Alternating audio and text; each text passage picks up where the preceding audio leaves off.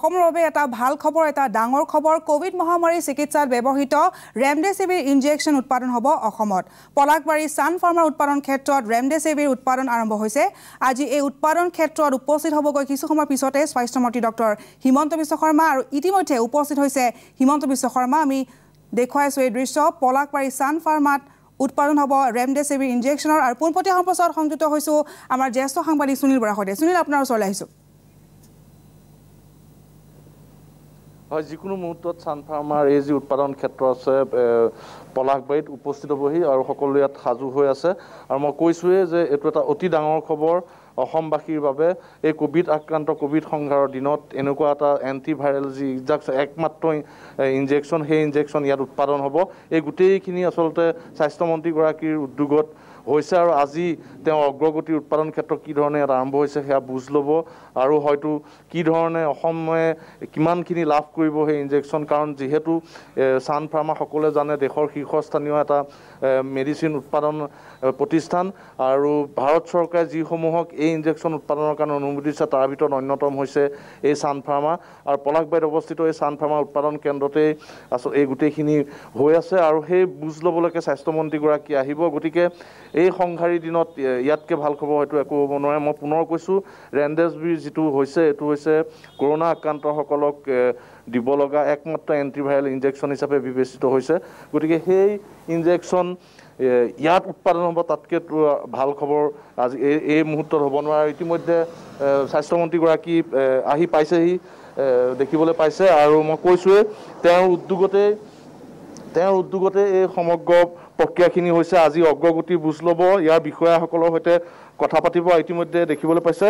স্বাস্থ্যমন্ত্ৰীগৰাকী উপস্থিত হৈছেহি পলাশবাৰীত থকা ছান ফাৰ্মাৰ যি উৎপাদন ক্ষেত্ৰ আৰু তেওঁ বিষয়া কৰ্মচাৰীসকলৰ সৈতে এক বৈঠকতো মিলিত হ'ব। লগতে উৎপাদন ক্ষেত্ৰ য'ত এই গোটেই প্ৰক্ৰিয়াখিনি হৈ আছে সেই প্ৰক্ৰিয়াখিনি তেওঁ নিজে চাবগৈ স্বচক্ষে চাব আৰু বুজ ল'ব কি ধৰণে আচলতে গোটেইখিনি হয়।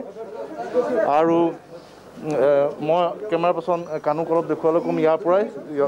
ইয়াত কিছু ক'ভিড প্ৰট'কলৰ কাৰণে এতিয়া? কিছু বাধা আছে ক'ভিড প্ৰট'কলৰ কথা আছে দেখিবলৈ পাইছে। স্বাস্থ্যমন্ত্ৰীগৰাকী সোমাই গৈছে মই পুনৰ কৈছোঁ এখন এখন বৈঠকত মিলিত হ'ব। আৰু বৈঠকখনত মিলিত হোৱাৰ পূৰ্বে তেওঁ এই যি উৎপাদন মই কৈছোঁ ইয়াৰ ভিতৰত সেই উৎপাদন ক্ষেত্ৰ য'ত আছে তালৈও যাব। তাতো তেওঁ গোটেইখিনি এই অগ্ৰগতিৰ বুজ ল'ব। আৰু ইয়াত দেখুৱাইছোঁ আমি ইতিমধ্যে উপস্থিত হৈছে এই প্ৰকল্পথলীত স্বাস্থ্যমন্ত্ৰী ডক্টৰ হিমন্ত বিশ্ব শৰ্মা পলাকবাৰী ছান ফাৰ্মাত উপস্থিত হৈছে য'ত উৎপাদন আৰম্ভ হৈছে। ইতিমধ্যে ৰেমডেছিভিৰ ইনজেকশ্যনত তাত উপস্থিত হৈছে মন্ত্ৰীগৰাকী আৰু তেওঁ বিষয় বিষয়াসকলৰ সৈতে এক বৈঠকত মিলিত হ'ব আৰু পৰৱৰ্তী সময়ত তেওঁ সংবাদ মাধ্যমৰ আগত সকলো সদৰি কৰিব। ৰেমডেছিভিৰ উৎপাদন ক্ষেত্ৰত উপস্থিত হৈছেগৈ স্বাস্থ্যমন্ত্ৰী ডক্টৰ হিমন্ত বিশ্ব শৰ্মা। ই আমি দেখুৱাইছোঁ আপোনালোকক পলাকবাৰীৰ পৰা পোনপটীয়া সম্প্ৰচাৰ। অসমৰ বাবে এয়া এক ডাঙৰ আৰু ভাল খবৰ। ক'ভিড মহামাৰীৰ চিকিৎসাত ব্যৱহৃত ৰেমডেছিভিৰ ইনজেকশ্যন উৎপাদন হ'ব অসমত পলাকবাৰী ছান ফাৰ্মাৰ উৎপাদন ক্ষেত্ৰত ৰেমডেছিভিৰ উৎপাদন আৰম্ভ হৈছে আৰু আজি উপস্থিত হৈছে ইতিমধ্যে এই প্ৰকল্পথলীত স্বাস্থ্যমন্ত্ৰী ডক্টৰ হিমন্ত বিশ্ব শৰ্মা।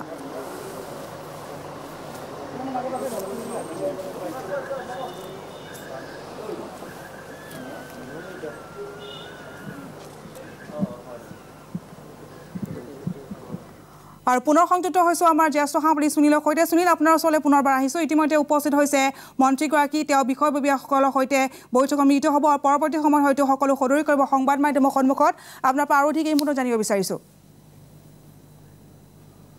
হয় মই প্ৰথমে কৈছোঁ ইতিমধ্যে তেওঁ ভিতৰলৈ সোমাই গৈছে আৰু ক'ভিড প্ৰট'কলৰ প্ৰতি লক্ষ্য ৰাখি ভিতৰলৈ সাংবাদিকসকলক বা অন্যান্য ব্যক্তিসকলক যাবলৈ দিয়া হোৱা নাই। কিন্তু এইখিনিতে মই নিউজ লেবৰ দৰ্শকক জনাওঁ মই য'ত উপস্থিত আছোঁ সেয়া হৈছে পলাশবাৰীত অৱস্থিত এই ছান ফাৰ্মাৰ যিটো কেম্পাছ। মই এবাৰ কেমেৰা পাৰ্চন কাণক দেখুৱাবলৈ ক'ম বৃহৎ এক মেডিচিন উৎপাদনকাৰী প্ৰতিষ্ঠান। দেশৰ ভিতৰতে শীৰ্ষস্থানীয় এক মেডিচিন উৎপাদনকাৰী প্ৰতিষ্ঠান ছান ফাৰ্মা আৰু এই ছান ফাৰ্মাৰ বৃহৎ কেম্পাছ পলাশবাৰীত আছে। আৰু এই ছান ফাৰ্মাতেই সেই যি ৰেমডেছভিৰ যি ৰেমডেছভিৰ যি ইনজেকশ্যন সেই ইনজেকশ্যনৰ উৎপাদনৰ কাম ইতিমধ্যে আৰম্ভ হৈছে। মই পুনৰ কৈছোঁ স্বাস্থ্যমন্ত্ৰীগৰাকীৰ প্ৰত্যক্ষ হস্তক্ষেপত তেওঁৰ উদ্যোগতে এই গোটেইখিনি প্ৰক্ৰিয়া আৰম্ভ হৈছে।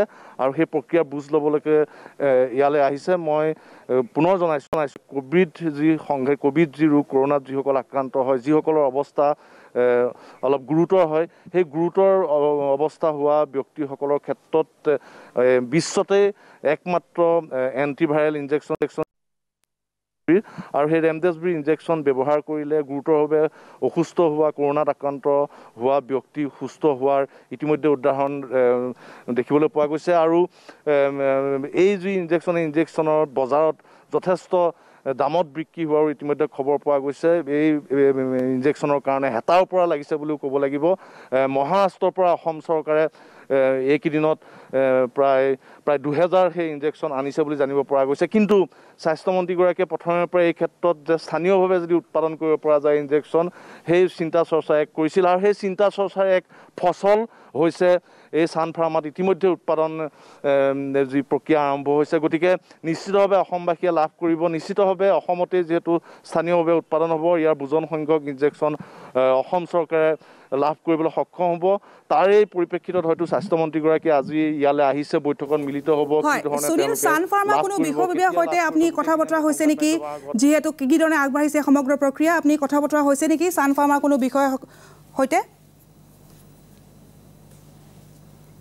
নাই ইতিমধ্যে ছান ফাৰ্মাৰ শীৰ্ষস্থানীয় বিষয়াসকল আৰু ডক্টৰ হিমন্ত বিশ্ব শৰ্মা ভিতৰত তেওঁলোকে প্ৰৱেশ কৰিছে বৈঠকত মিলিত হ'ব মই কৈছোঁৱেই। তাৰপিছত উৎপাদনথলীলৈ যাব য'ত যি প্ৰক্ৰিয়া আৰম্ভ হৈছে সেয়া তেওঁ নিজে পৰ্যবেক্ষণ কৰিব।